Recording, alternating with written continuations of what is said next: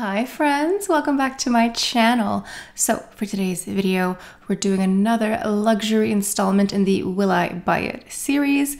But here on my channel, we add a little French twist. So for collections we do want, we say oui. And for collections we don't want, we say non merci. But before we go any further, let's take a second to grab our iced coffee or hot coffee. Let's take a sip and let's get started. As you know, I have my online beauty consulting service. So if ever you pick up a makeup item and you cannot, for the life of you, make it work out for you, or maybe you have an old item in your collection that just isn't working for you anymore, go ahead and book a session with me today. Now, before we dive into today's video, I do want to remind you very quickly that there is the Sylvie Chantecaille anniversary sale right now, and I have my code here that you can use. This gives you early access and it gives you 25% off of most of Chantecaille products before they sell out. So, let's go ahead and dive into Will I Buy It? Last time we talked about a lot of food I heard you guys loud and clear. Listen, even I need to indulge in some more trashy taste every now and then. But today we are strictly non food related. So, first up, we have the Givenchy Fall Collection. I know it's early, but it looks gorgeous. Let's go ahead and break it down. We have the Pink Collection, which currently is available for sale. A lot of the items say out of stock. But I think what they've been doing is they've just sort of built the site and then they're going to launch the items in a matter of days, probably, maybe hours. So go ahead and put yourself on um, the waiting list here to be called back when the items come in stock because it looks gorgeous. To me, everything looks great. I mean, it's pink, it's Givenchy. We have the gorgeous logos here. We have um, we have the Rose Perfecto lip balm. It's supposed to offer 24 hours of hydration.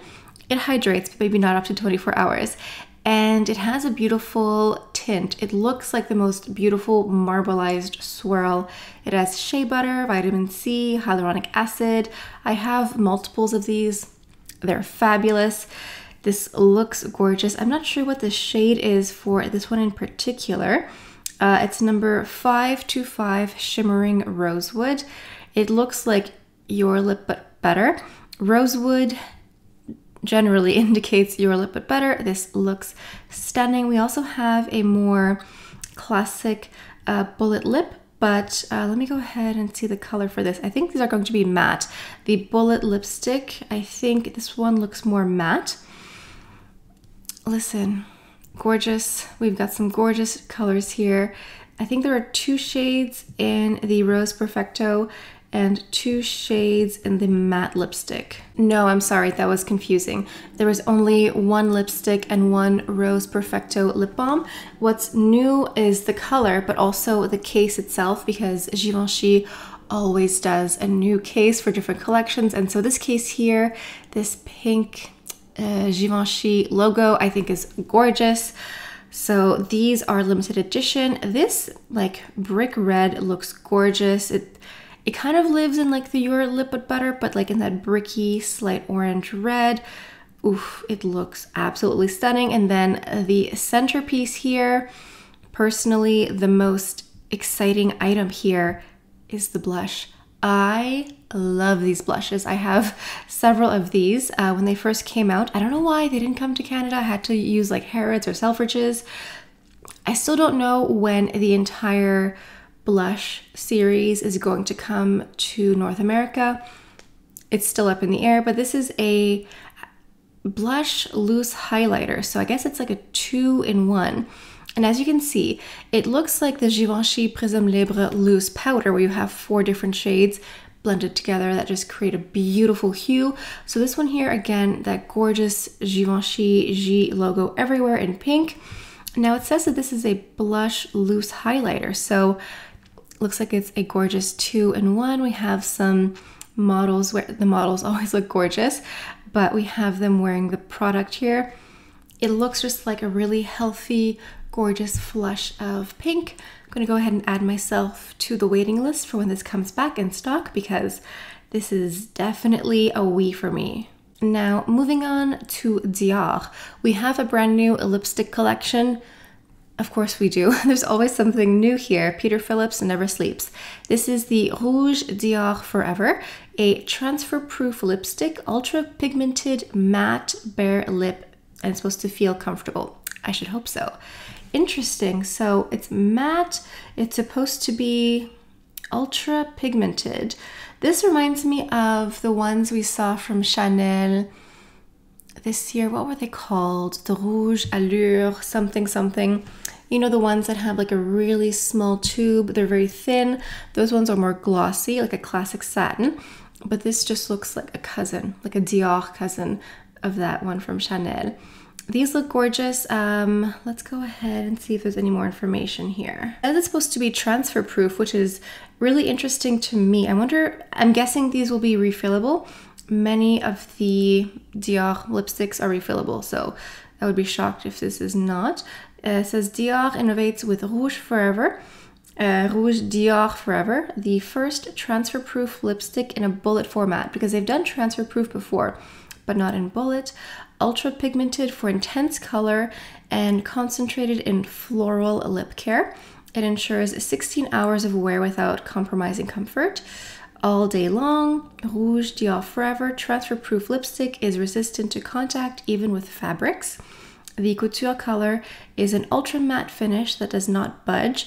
The shades are revealed and emboldened more intense than ever. Echoing Christian Dior's love of flowers, Rouge Dior Forever is infused with red peony extract, an iconic ingredient at the heart of the Rouge Dior collection. It helps maintain the natural hydration of the lips. I would hope so because matte, uh, supposed to last for 16 hours, does sound like it could be a bit drying, but it looks gorgeous. The lipsticks themselves look really pretty.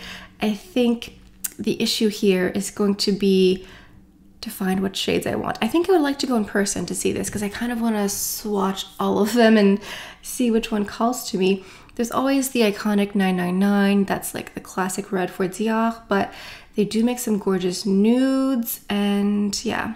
Although sometimes I have bought online based off of the models, like the different colors available, which hasn't necessarily led me wrong. But I think I'd like to see these in person. This is a definite oui for me, 100%. I'm not going to pick up all 32, but you know, might get a, a couple here and there.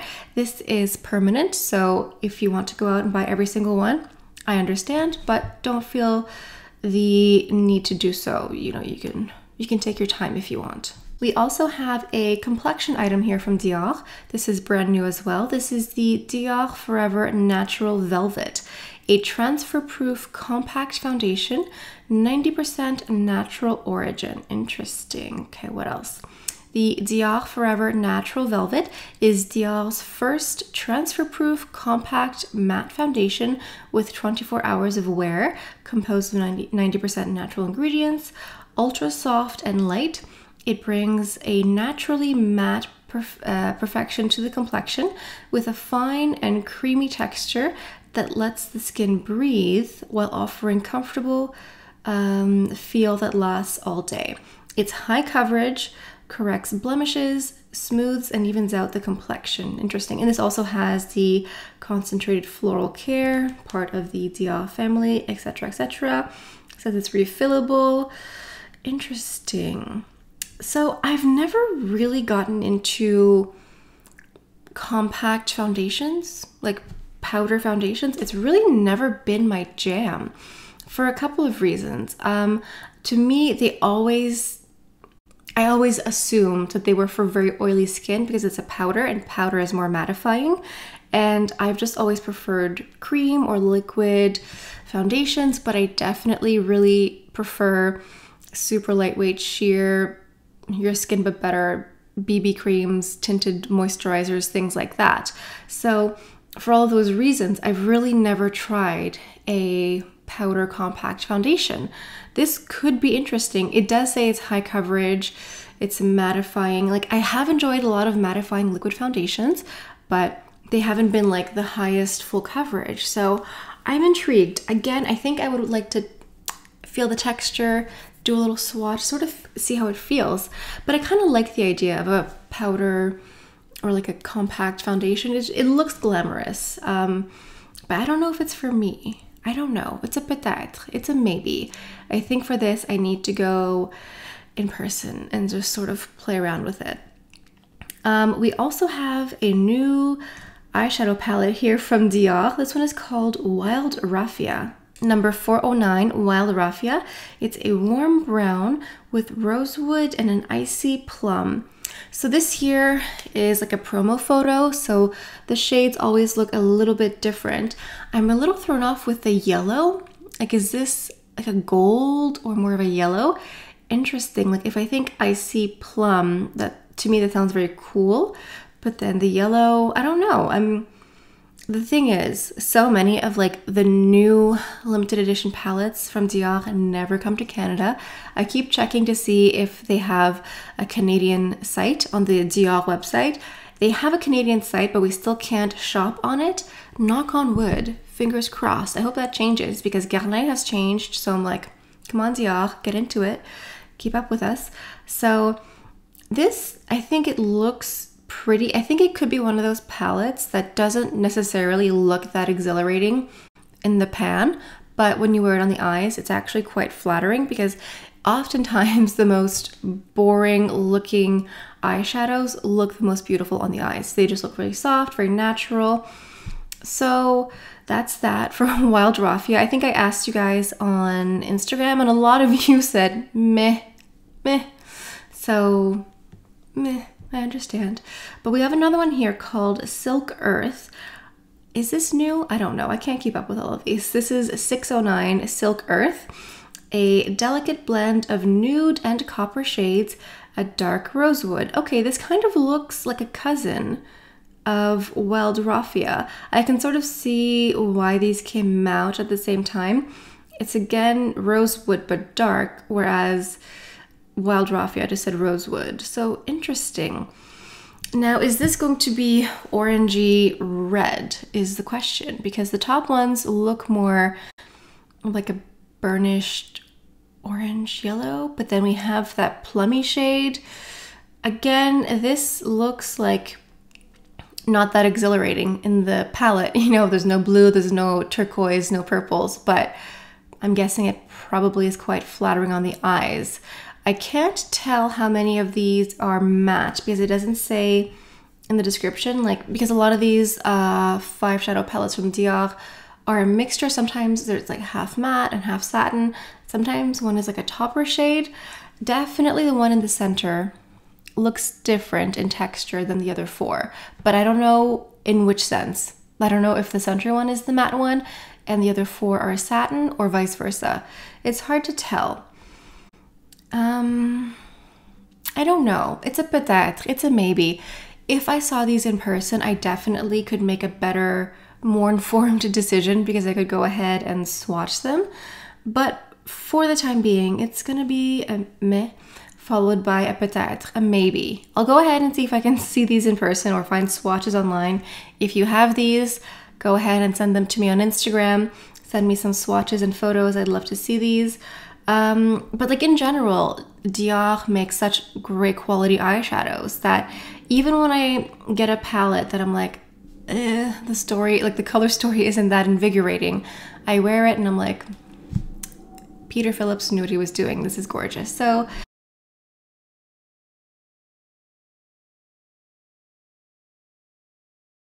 I can't believe this new Lisa Eldridge collection just like slipped through my fingers. I didn't like I knew that it was happening, but I don't know. It, it, somehow evaded me. This is the first time that she's done a launch that I haven't picked up anything. So we have new colors here in the luxuriously lucent lip shades.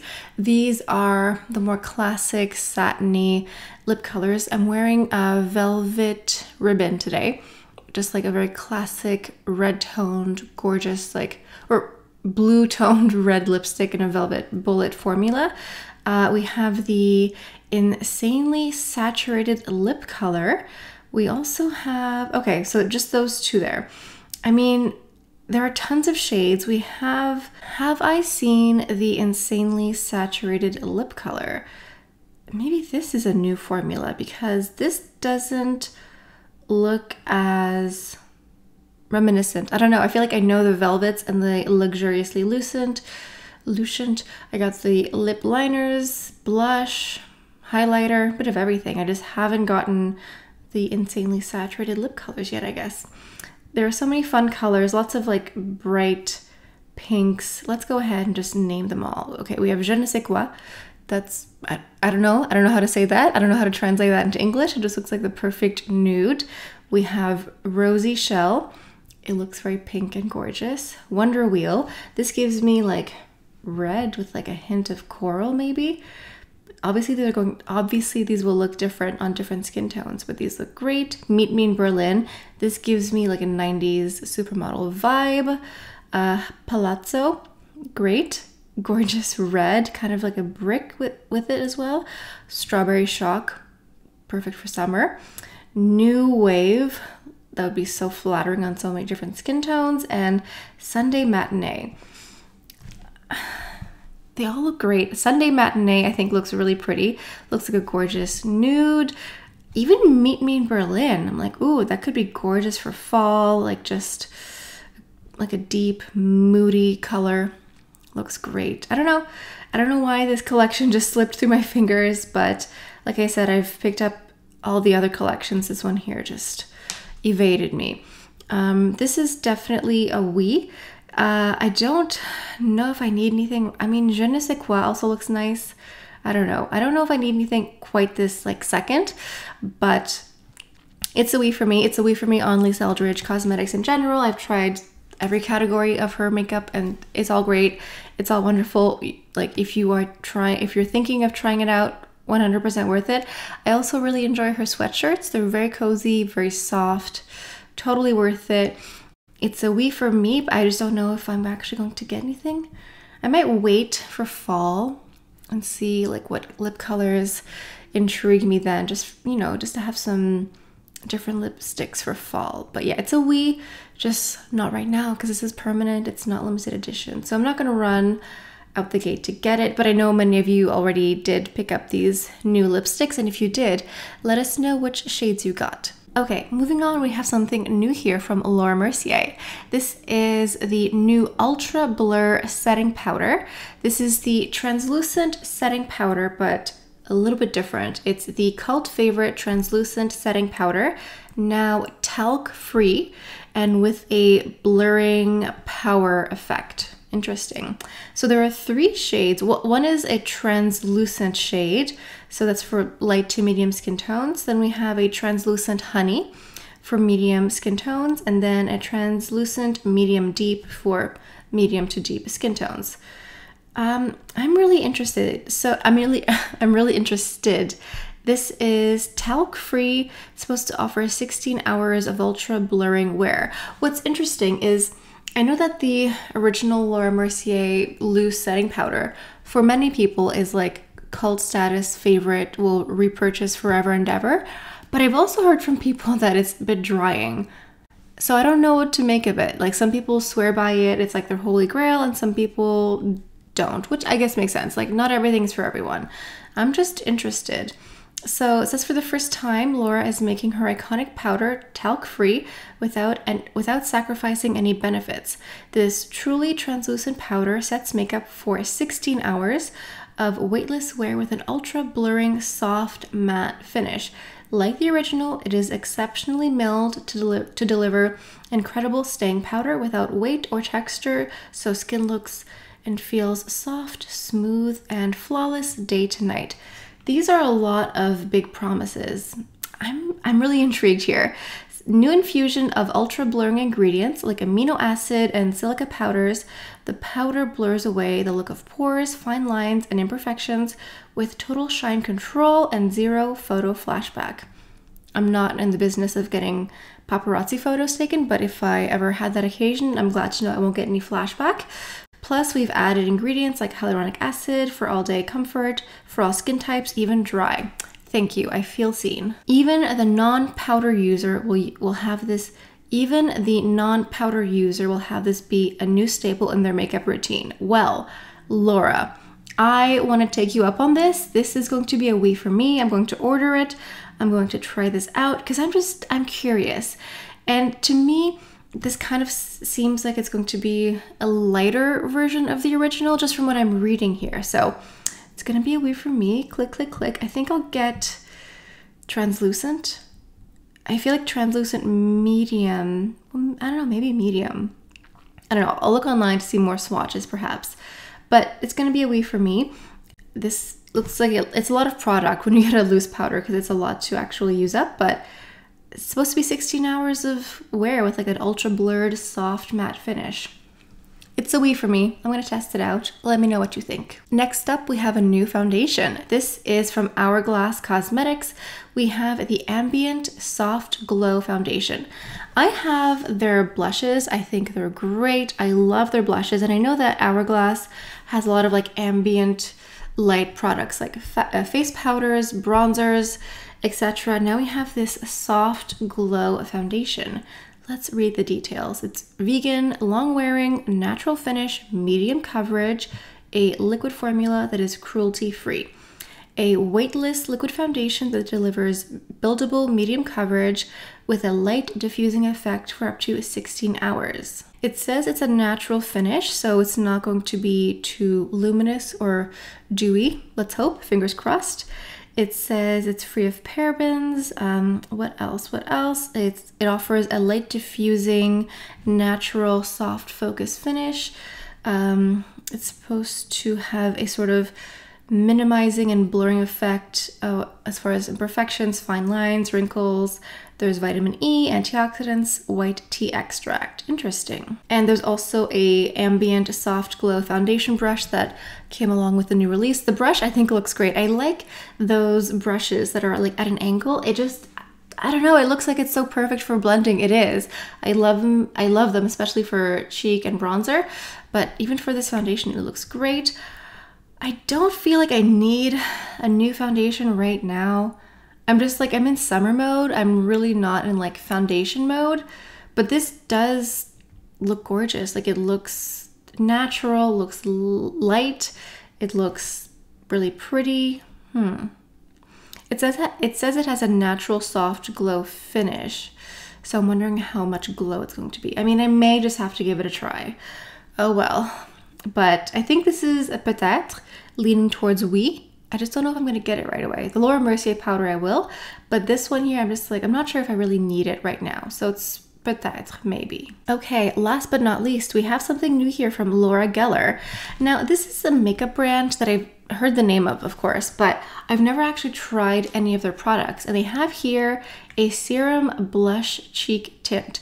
This is new here. It's like it looks like a blush stick but it looks like it's a, a, sponge. So I think you twist the product out and then you apply it on the cheek. It says here it's a refreshing sheer flush of color, lightweight serum texture, so that means it's going to be very liquidy, a hyaluronic acid and polysaccharide plump and hydrate the skin. Interesting how to use it says twist to release the product dab directly on the cheeks and then blend with your fingers or an angled uh, blush brush. That makes sense. Now, there are only two shades to choose from. There is a practical pink, a rosy pink, or a poppy peach, a peachy pink. I mean, they both look pretty. I kind of wish there was more shades to choose from. I think in the photo, it I thought there'd be like several shades, but there's only two. I guess it's uh, really easy to decide what you want, one of each or just one. I think I'd get with one of each, just out of curiosity. I'm really curious about this product here. I'm not sure though about the sponge tip applicator because I've tried products from Charlotte Tilbury like that and I don't always love the sponge tip. I feel like it often gets like gloopy or like gunky, but I don't know. I'm, I'm curious. I, I've never tried anything from Laura Geller. Let me know if you've tried Laura Geller. I don't know who she is exactly, but I'm sure her products are great. So I think that is our roundup of luxury makeup. Will I buy it? Oui non merci. Please sound off in the comments below. Let me know what you think. Let me know what you're going to test out. Let me know what you're dying to try out. Let me know if you've purchased anything recently.